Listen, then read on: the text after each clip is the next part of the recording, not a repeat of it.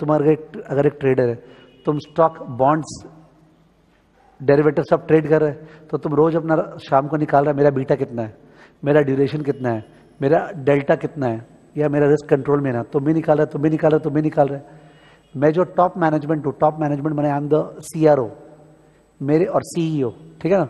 मेरे को टेबल में तुम लोग सबको बोला, यार रिस्क बताओ कितना कितना है?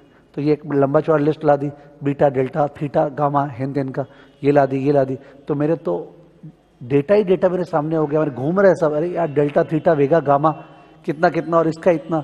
और बड़ा बड़ा फर्म्स है ना, जिनके इतने ट्रेडर्स है, संभाल ही नहीं पाएँगे। तो मैंने क्या बोला, यार प्लीज़ हटाओ ये सब। मेरे को ये बताओ, आज के दिन नॉर्मल सर्कमस्टांसेस में कितना लॉस हो सकता है? What is the maximum my firm can lose as a result of your positions under normal circumstances within a time period? I repeat what is the maximum amount that our firm can lose within a certain time period at a certain confidence level? So language sophisticated ho gaya easy kar hu. How much can we lose? Ka english how much is at stake how much can we lose ka english how much is at stake how much is it is at stake ka english value at risk value at risk how much is at risk how much is at risk value at risk कितना amount हम लोग loss खा सकते हैं okay as a result of आप हमने जो कर रहे हैं ना ये करने के कारण से बताइए ना कितना नुकसान हो सकता है वो जो नुकसान हो सकता है उसको बोलते हैं वैल्यू एट रिस्क तो वैल्यू एट रिस्क का मैं डिफाइन करता हूँ amount at stake amount at stake but that's a informal definition इन लोग के अनुसार वैल्यू एट रिस्क को बताने के लिए मेरे को स्ट्रेट अवे सेंटेंस यूज़ करना पड़ेगा, सुनना। The five percent value at risk of our firm is 40 million on a daily basis. The 5% daily value at risk of our firm is 40 million. फिर से the 5% daily value at risk of our firm is 40 million. Language चला गया अब इसका मतलब सुनना इसका मतलब we are 95% confident that we cannot lose more than 40 million in a single day. 95% हम लोग कॉन्फिडेंट हैं कि मैक्स टू मैक्स लॉस कितना हो सकता है 40 मिलियन बट 5 परसेंट में लॉस 40 से ही बड़ा होगा। तो अगर 5 परसेंट के साइड से बोलें तो 40 million is the minimum possible loss और 95 परसेंट के साइड से बोलें तो 40 million is the maximum possible loss समझ रहे हो? तो value at risk can be defined as the minimum possible loss और the maximum possible loss depend करता है आप किस दिशा से सोच रहे हो। आप अगर वर्स्ट केस सोच रहे हो फाइव परसेंट जो वर्स्ट हो सकता है तो फोर्टी मिलियन तो मिनिमम लॉस है, उससे बड़ा लॉस और हो सकता है। बट अगर ये सोच रहे नॉर्मल सर्कमस्टांस वो 95 परसेंट नॉर्मल सर्कमस्टांस में फाइव सॉरी फोर्टी मिलियन क्या है? मैक्सिमम पॉसिबल लॉस जो टेल के अंदर घुस गए टेल के अंदर घुस गए दैट इज़ वॉट मतलब वो हो गया मिनिमम पॉसिबल लॉस फोर्टी है सर, उससे ऊपर भी हो सकता है। तो वैल्यू एट रिस्क का मतलब मैक्सिमम पॉसिबल लॉस और मिनिमम पॉसिबल लॉस दोनों होता है। ये लोग क्या लिखा है, ये अपने को चेक करना पड़ेगा। But before we check before we check एक minute value at risk critically तीन चीज़ों पे डिपेंड करता है, तीन चीज़ों पे। पहला है, कितना कॉन्फिडेंस लेवल पे आप बोल रहे हैं। माने फाइव परसेंट पे कि टू परसेंट पे कि वन परसेंट पे कि टेन परसेंट पे। वो प्रॉबिलिटी सेकेंड है वन डे का लॉस कि वन वीक का लॉस कि वन मंथ का लॉस कि वन ईयर का लॉस टाइम पीरियड तो एक है कॉन्फिडेंस लेवल और एक है टाइम पीरियड एक है कॉन्फिडेंस लेवल और एक है टाइम पीरियड एक बार सोचो प्लीज़ प्लीज़ इमेजिन करो। One percent value at risk versus five percent value at risk one percent value at risk versus five percent value at risk अगर ठीक से सोचोगे तो one percent value at risk बड़ा होगा as compare to five percent क्योंकि five percent value at risk का मतलब सर 95 परसेंट कॉन्फिडेंट है कि वर्स्ट टू वर्स्ट लॉस इतना होगा। अब तुम बोलना चाह रहे 99 परसेंट कॉन्फिडेंस के साथ। 99 परसेंट कॉन्फिडेंस के साथ बोलो ना तुमको मैक्सिमम लॉस कितना होगा। तो तुम और कंजर्वेटिव बोलेगा बिकॉज़ तुमको 99 परसेंट कॉन्फिडेंस के साथ बोलना है। तुम नहीं समझा? तुम एक एग्ज़ाम देने वाला है, हम तुमको पूछा 90 परसेंट कॉन्फिडेंस के साथ बोलो ना, तुम्हारा खराब से खराब कितना मार्क्स आएगा?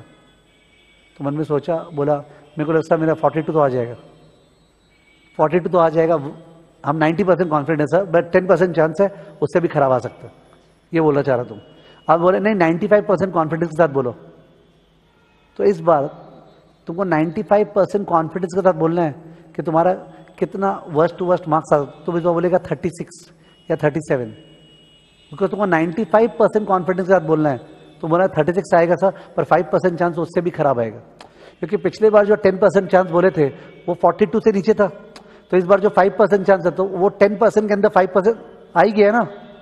10 परसेंट जो था, अब उसके अंदर घुस के 5 परसेंट बोल रहे हैं। अब उसके अंदर घुस के और 1 परसेंट बोलेंगे। समझ रहे? तो जितना 1 परसेंट वैल्यू एट रिस्क निकालेंगे, उतना क्या आएगा?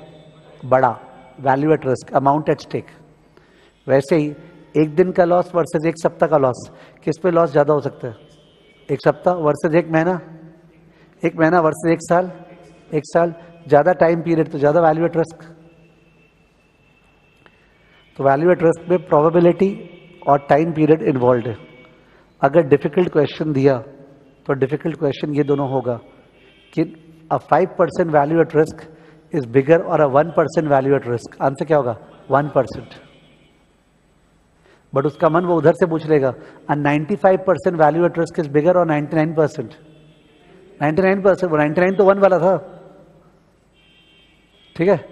दूसरा अब monthly value at risk is bigger than weekly value at risk monthly is bigger than weekly ठीक है तो? Value at risk is an aggregative risk measure aggregative aggregative क्या होता है? भाई, मेरे को बीटा डेल्टा थीटा वेगा मत बोल। ऑन द होल कितना लॉस हो सकता है? Difficult to calculate there are various methods and there is a fight between the methods अलग अलग मेथड से अलग अलग आंसर आएगा। ठीक है? ये वाला जो डिस्ट्रीब्यूशन है, एक minute sorry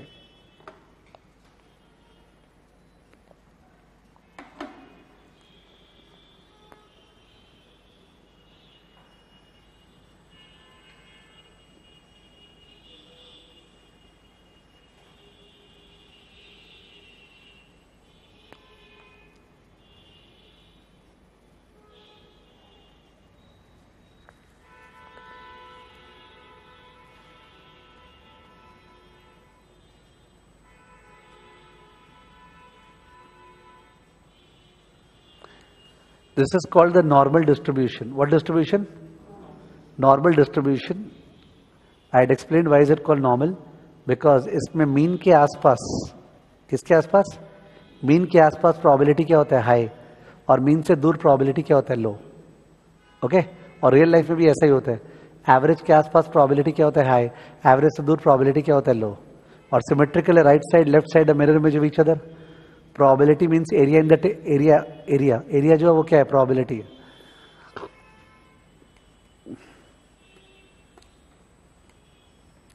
अगर यहाँ पे फाइव परसेंट शेड करें ना फाइव परसेंट तो ये जो है this is five percent VaR ये जो पॉइंट है ना ये ये जो बाउंड्री है इसका, ये है फाइव परसेंट वॉर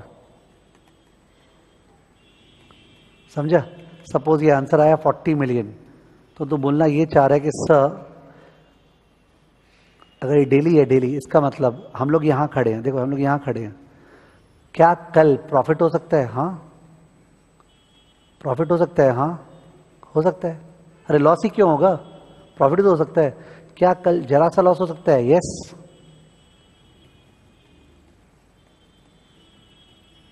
पहुँचे ना। तो आप ये बोलना चाह रहे हो, सर 95 परसेंट ये जो एरिया जो सारा मार्क किया ना, मैं ऐसे ऐसे आरो मारा था, ये 95 परसेंट एरिया सबको दिख रहा होगा। तो 95 परसेंट सिचुएशन में तो या तो मेरे को प्रॉफिट होगा और या लॉस होगा छोटा। वर्स्ट टू वर्स्ट लॉस क्या होगा? 40 मिलियन समझ में आ रहा होगा? हाँ पर वो 5 परसेंट जो टेल इवेंट है ना उल्टा पुल्टा कुछ हो गया तो उसमें तो ये अगर 40 आया तो इसके अंदर और क्या है? 45 इसके अंदर ब्लू में और अंदर क्या है? 50 70 80 90 तो और बड़ा लॉस हो सकता है। 40 तो मिनिमम पॉसिबल लॉस है।